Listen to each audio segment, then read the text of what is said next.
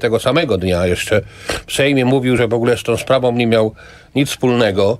To, to później okazało się, że, że jednak miał sporo, że odbywały się narady, co najmniej dwie i tak dalej, i tak dalej. No kwestia przyzwoitości. No, ale przecież powie, Tutaj prokurator generalny powinien wszystko zrobić, Samodziel- Zbigniew Ziobro, żeby to sąd tę sprawę rozstrzygnął.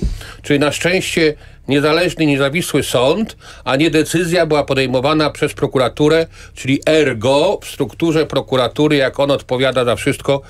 e, e, Zbigniew e, e, Ziobro powie, też że za on nic to nie odpowiada. wiedział, prokuratorzy Nie może są. nic nie wiedzieć. Jak ma taką władzę, to musi mieć świadomość takiej odpowiedzialności. Konflikt interesów. Kwestia przyzwoitości.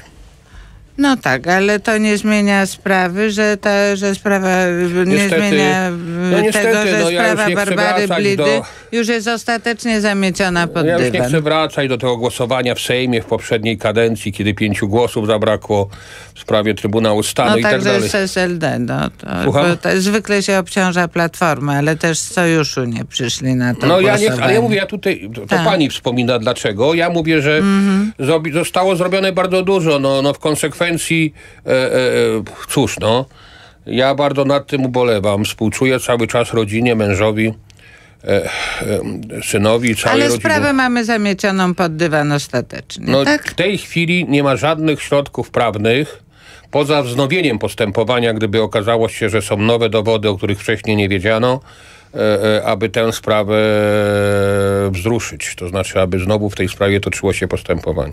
Ale chyba nie jest pan zaskoczony tym, co zrobiła prokuratura? Jestem, jestem, bo ja jednak No ale widzi nadzieję... pan, jakie są działania prokuratury ja wiem, ale w tej ja, chwili. wie pani, ja zawsze uważam, że, przeciwko ja zawsze komu? uważam, że no, no, no, no, jeszcze raz to powtórzę, no. Co,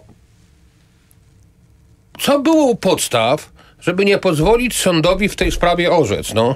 Całej audycji wysłuchasz w aplikacji mobilnej Tok FM oraz w archiwum na stronie tokefm.pl ukośnik audycje.